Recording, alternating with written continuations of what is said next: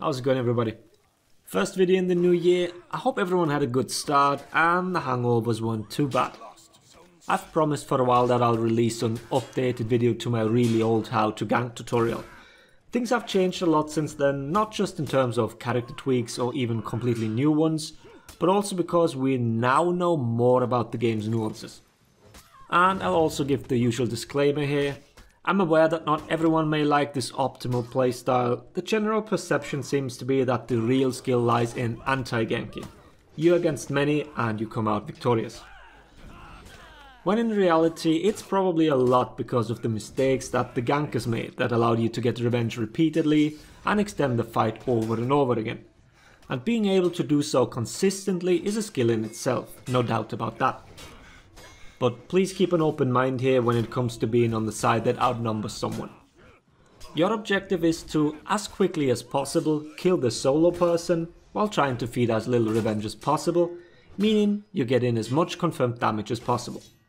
Because if it takes you a long time, your other teammates on the opposing side of the map are the ones outnumbered and thus in a disadvantageous position, which you obviously try to avoid.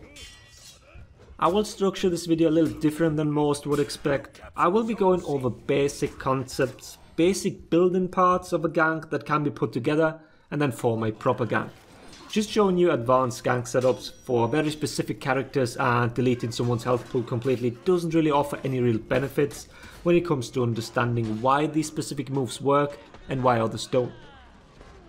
But as I mentioned before that anti-ganking is about the mistakes of the gankers, sometimes people do a lot of stuff that gets them into more trouble while being ganked. They basically gank themselves by opening themselves up to different punishes. And I don't mean getting parried or anything, it's much simpler actually. So what we're starting with is, when you gank someone, first look at the guy and observe what he's doing. If they're pressing a lot of buttons, that usually means they make your job a whole lot easier. By that I mean, instead of trying to waste the time of the gankers and trying to prolong the time for his teammates to be able to do stuff on the map, they try to win the inherently unfavourable situation. While attacking a single person is usually safe for the most part, the moment someone else is around, a lot of things no longer are. The simplest example here is a blocked light. The moment you block a non-enhanced light, your teammate can get a free guard break on that person, because all blocked lights count as superior blocks meaning they stop the chain that puts you in recovery. And as you know, in recovery, you cannot counter guard break.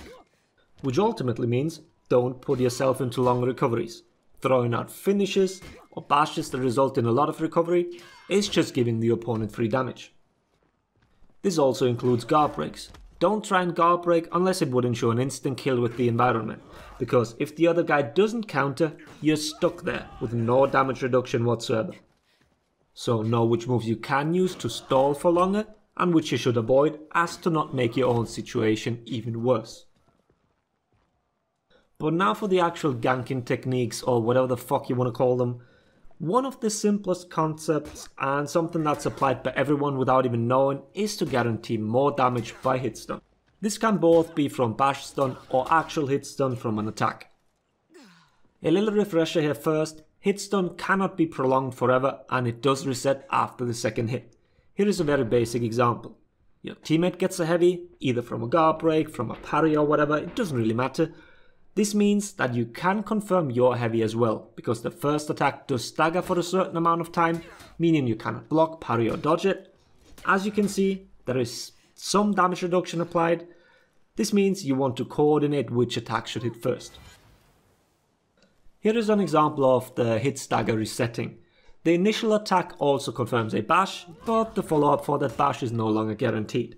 That is very important to keep in mind. You see similar stuff happen very often where people just randomly throw lights out and thus reset hit stun for higher damage and attacks that would have otherwise been confirmed. Here are a few examples of what it looks like during fights.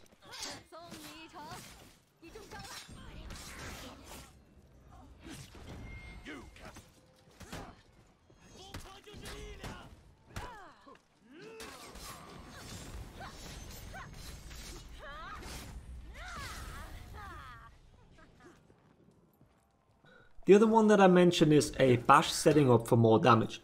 Bashes usually guarantee some sort of damage for yourself, but if a teammate coordinates his attack accordingly, then they can get a heavy in. Keep in mind that this feeds a ton of revenge. Doing this repeatedly will fill their bar rather quickly, but it is an effective way to finish someone off and get an execution out of it as well. Here is an example of a Warlord's Headbutt setting up for my unblockable heavies.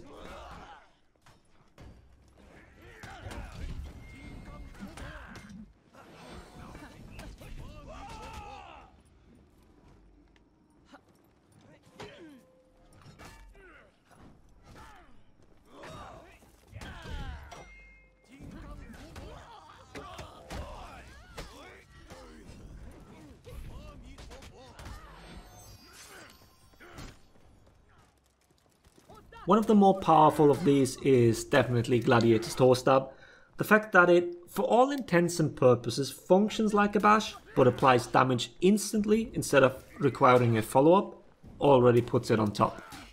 So setting up with a toe stab allows for the teammate heavy, all the while doing damage yourself, and at the same time, not feeding the revenge that a bash does.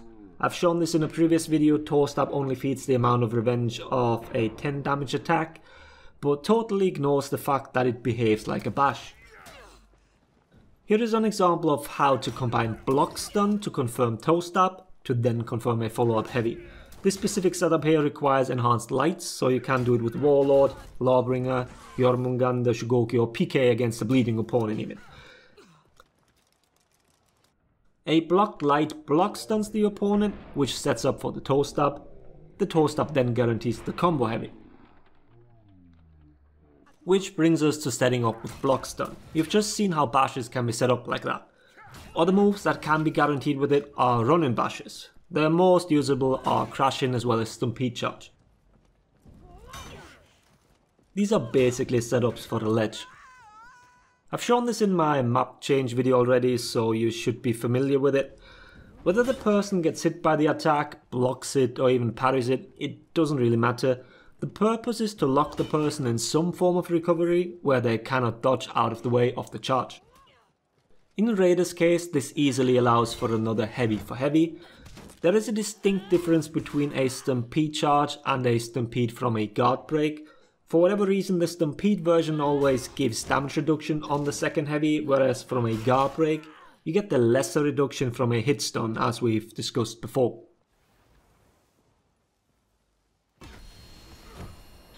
Shaman's Bite can be set up the same way, but we'll get to her full gank after we cover setting up with a break. Which is the next topic, setting up with a break. You might be scratching your head now because setting up for a guaranteed guard break is not really a thing. We are working with counter guard breaks here.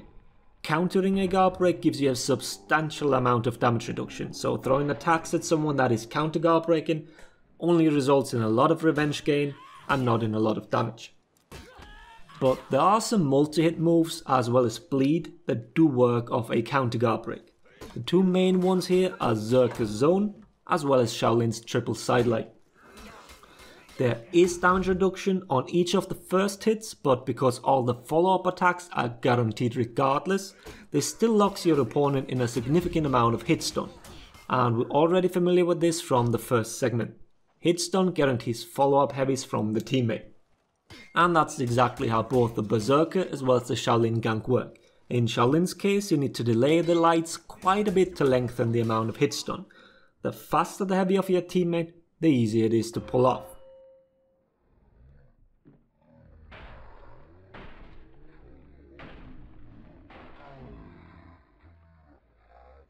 In Berserker's case, position is crucial here. You do not want to hit your teammate with your zone attack.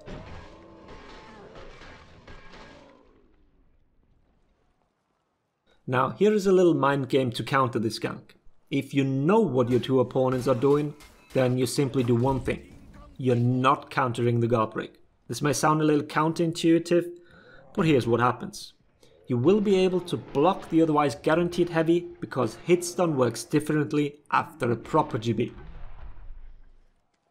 Eating neutral guard breaks all the time obviously isn't the smartest thing to do, so if you, as the ganker, know that the guy won't counter, you can do the following.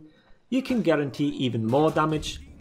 As Berserker for example, you throw a top heavy off guard break. Normally this isn't confirmed, but because both you and your teammate know what's going on, the first heavy is timed so that it confirms the top heavy. This can also be done when you know your guard break is confirmed. I mentioned the blocked light confirming one at the very beginning. That's one of these instances, so depending on which character each of you play, the order can be changed so it confirms slightly more damage. Now, the other thing that can be confirmed of counter guard breaks is bleed.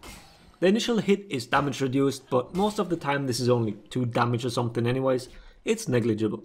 But the bleed is applied, and it's applied fully. So now if we combine this with the previously mentioned block stun setup, here is a full Shaman gank. You GB for Shaman's bleed stab, then the Shaman goes into pounce stance and waits for the setup.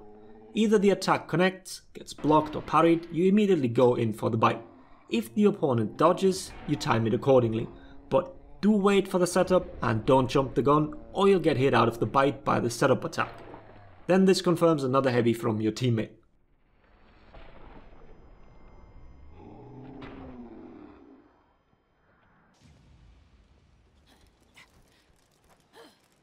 Block stun ganks against BP do not work because of the fast flow into Bulwark and then the counter. Bait it out and go for the GB or try to hit the end of the counter GB with the bite. It's not easy to land one on a competent BP. Here is an example of multiple of the previously mentioned things. First is a block light that leads into a ledge. Then we have an overeager lawbringer that throws out attacks which lets me freely bleed him. Then I get a setup for a bleed with a block stun. Lawbringer's Impale gank also uses a GB setup, countering a guard break or being guard broken removes your guard, which means that a Lawbringer can land his Impale on you. It's on the Lawbringer to angle it correctly to either ledge or reach a wall. The wall's back confirms the long arm, which then in turn confirms Lawbringer's side heavy and the teammate's heavy.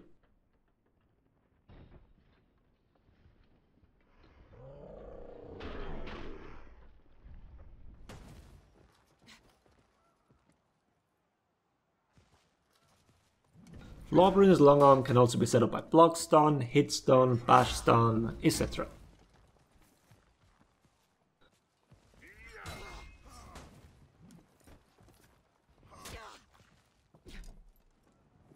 One more thing to use guard break for is to time it correctly to catch the few frames in which a person doesn't have damage reduction. This is mostly used for unblockables. The key here is to catch the person either during a parry attempt or between the moment the GB connected and him not having pressed counter guard break yet. If mistimed, you just gave the person a huge chunk of revenge for very little damage. But this is an easy way to confirm and execute and finish off an opponent who's been sitting on 1 HP. The damage reduction doesn't matter in that case.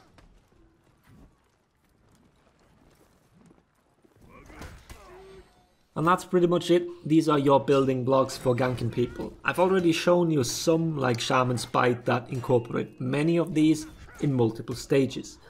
There are obviously way more out there, but some are extremely character dependent and also require proper coordination.